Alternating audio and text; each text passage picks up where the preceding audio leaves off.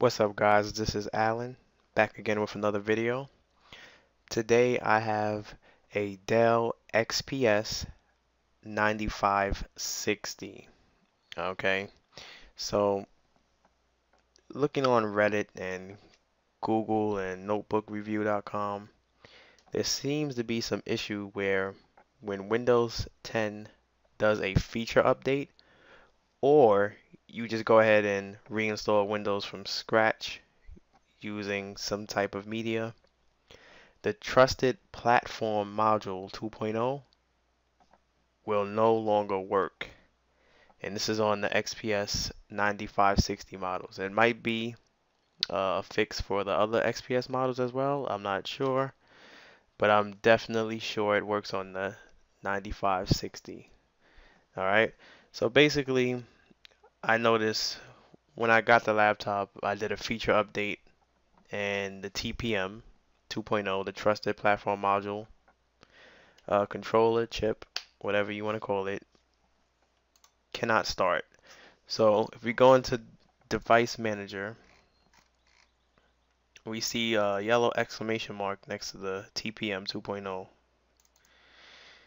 and basically, this device cannot start. A protocol error was detected between the driver and the device. Now, I noticed this, like I said, when I updated to the feature update 1803, I searched Google. Um, I already installed all the drivers available for the 9560. It did not fix the problem. Uh, I did a clean install. It did not fix the problem. So I finally found a solution that works. And it's simply reflashing the latest BIOS available for your machine. Okay, so I installed all the drivers, assuming that you already clean installed Windows or you updated Windows, whatever, you installed all the latest drivers. You still will have the Trusted Platform Module 2.0 with an exclamation mark saying the device cannot start. Alright, so we're going to go to the Dell support site. So just open up any browser you want.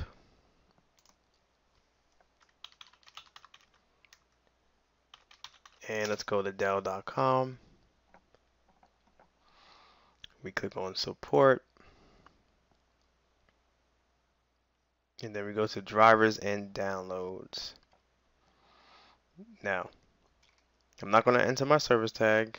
I don't want anyone to know my service tag, but I'm just going to choose uh, my product using the assisted method. So I'm going to go to laptops, XPS, and mine is the XPS 15 9560. Now, like I said, this might work for other XPS models. I'm not sure, but for the 9560, this works. So I click on 9560 and I already updated all my drivers but the one we're interested in is the BIOS. So you know it might not be the, I see the BIOS here but to be a little quicker you can filter out everything else. The category click the drop down arrow click on BIOS it only shows the BIOS. Okay so this is the latest BIOS here as you can see version 1.9.4 for the XPS 9560 and I'm going to download this and I'm going to save it.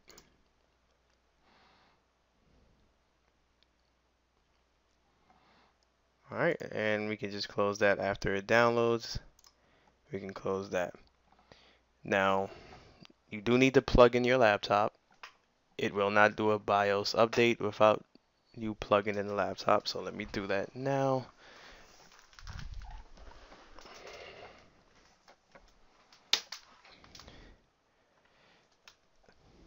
Alright, and that's plugged in. And let's check Device Manager one more time. As you can see, TPM, Trusted Platform Module 2.0 is still bad and it cannot start. Alright, so after we plug in the device, we go to the download folder.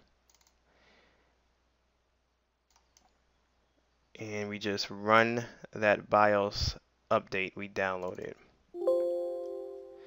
This utility will update the system BIOS, blah, blah, blah. We already know.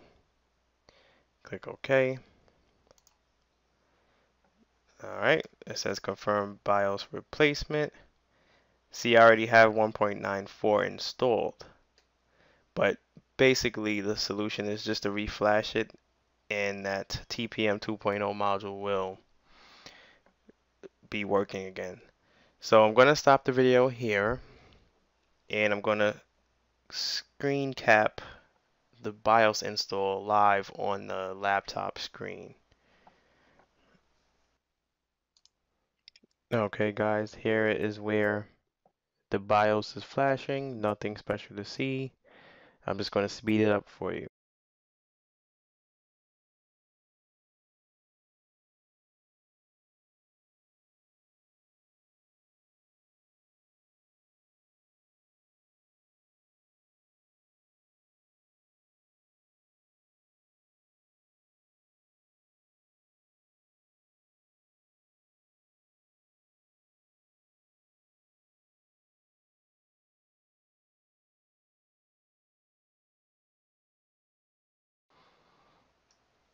And I'm back guys um, after that BIOS upgrade flash.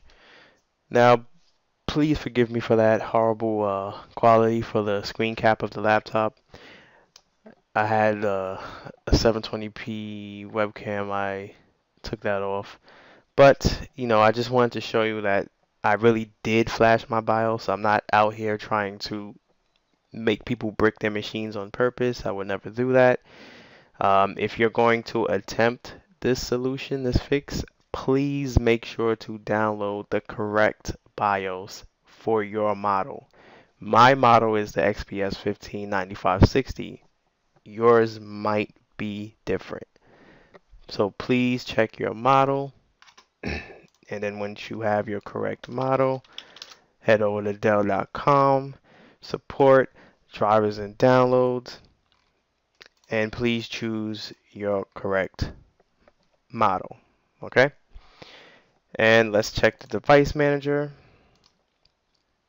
And boom.